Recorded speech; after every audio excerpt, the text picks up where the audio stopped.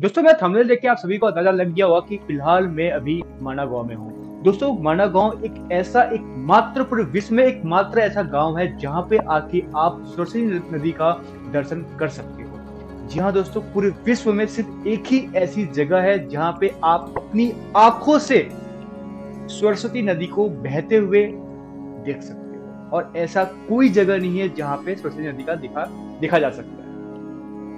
इलाहाबाद में भी ऐसा कहा जाता है, प्रयागराज में कि संगम होता है, त्रिवेणी घाट में भी कहा जाता है, संगम होता है। कई ऐसी जगह है जहाँ पे कहा जाता है कि ये सरस्वती नदी है या फिर संगम होता है, पर उसका कोई प्रमाण नहीं है। सिर्फ़ और सिर्फ़ माना गाँव ही एक ऐसी जगह है जहाँ पे सरस्वती नदी को देखा जा सकता है उसका प्रमाण भी है, आप अपनी आँखों के सामने अभी वो देख सकते हो। और मैं आपको बता दूँ कि ये मात्र सिर्फ़ दो से तीन किलोमीटर आगे है बद्रीनाथ धाम से। जब भी आपको कभी सौभाग्य प्राप्त हो कि आप बद्रीनाथ जी का दर्शन करने आते हो तो आप यहाँ पे भी आ सकते हो। और आपको एक चीज़ और बता दूँ कि यहाँ पे त्रिवेद व्यास गुफा और गणेश गुफा भी है और यही ऐसा गाँव है जहाँ से पांडव स्वर्ग की ओर गए थे।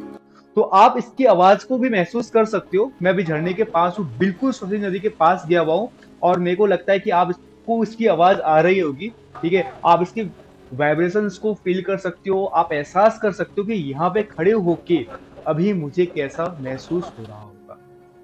बहुत प्यारा व्यू है बहुत प्यारा प्यारी साउंड है बहुत ही प्यारा वाइब्रेशन है।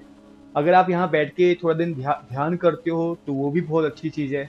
ठीक है? अगर आपको ऐसा मौका मिलता है कि जब आते हो भीड़ पे डिपेंड करता है कि भीड़ कैसी है, क्योंकि भीड़ अगर होगी तो शोर शराबा हो सकता है, लेकिन अभी कुछ नहीं। और आपको मैं सामने जो पुल दिख रहा है ना, वो भीम पुल है। मैं आपको बता दूँ कि पांडव जब इसी रास्ते से स्वर्ग की ओर जा रहे थे, है ना तो उस बीच में थोड़ी सी खाई टाइप की थी। तो एक भीम जी ने एक चट्टान को उठा के सिरा को उठा के वहाँ पे रखा ताकि उनके बाकी भाई उस, इस नदी को पार करके स्वर्ग की ओर प्रस्थान कर सके।